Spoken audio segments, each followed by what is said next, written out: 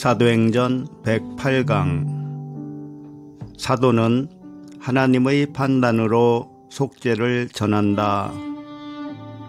사랑하는 나의 아들아, 사도는 육체의 판단을 신뢰하지 아니하고 오직 하나님의 판단을 신뢰하며 형제들에게 오직 속죄를 전하는 사역자라.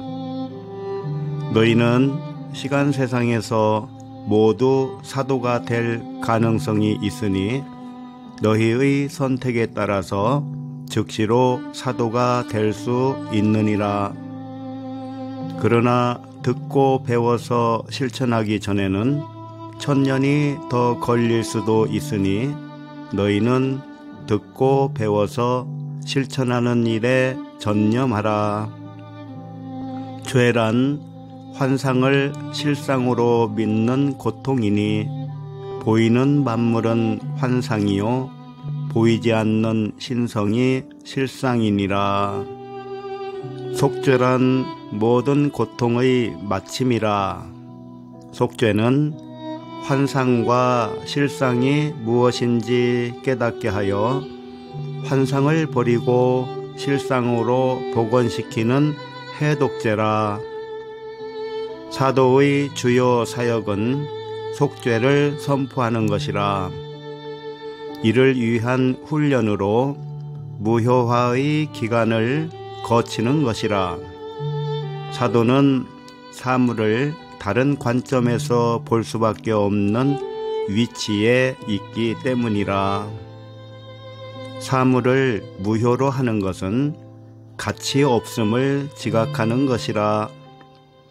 너희는 환상의 세상에서 대부분을 가치 있게 여겼을 것이니 복음을 위한 도구와 수단 이외에 가치를 두지 않는 훈련 기간을 소중히 여기라.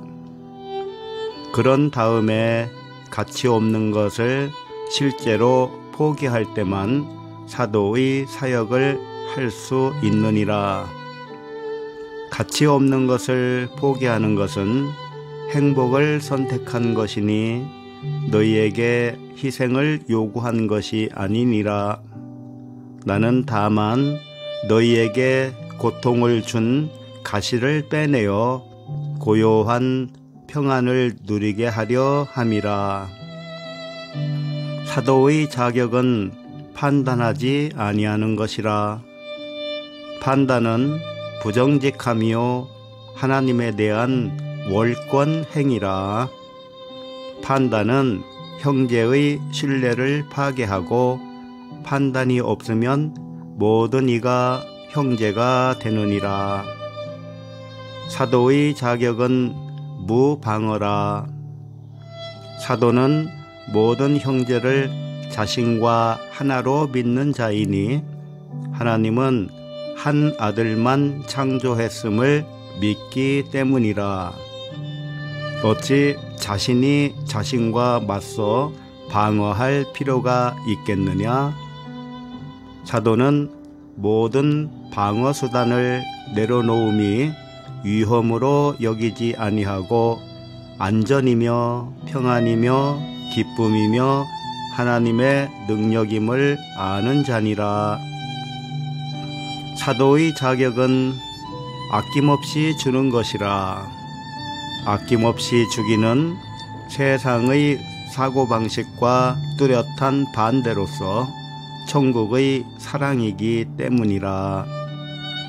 아낌없이 주기는 신뢰에 근거한 것이니 너희는 아낌없이 줌으로써 사랑을 간직할 수 있느니라. 사도는 기적을 전하는 자라.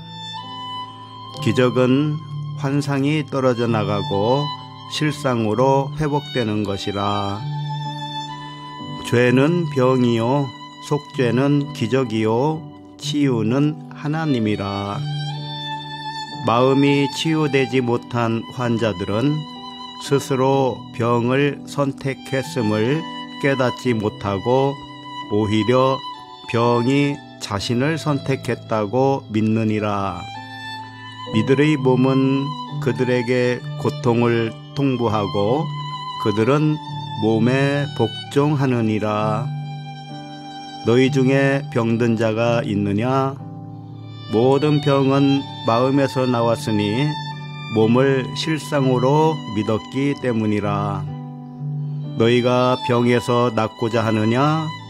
너희가 스스로 병을 선택했음을 시인하여 몸과 병을 환상으로 선택하고 오직 너희의 참된 자아인 성령을 선택하라.